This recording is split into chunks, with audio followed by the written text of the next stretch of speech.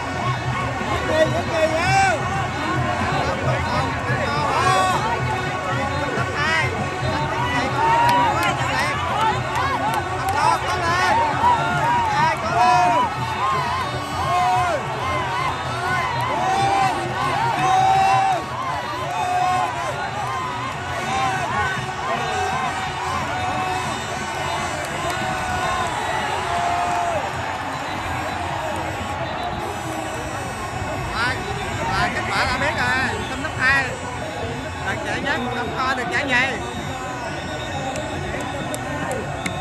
chúc mừng tâm đốc hai em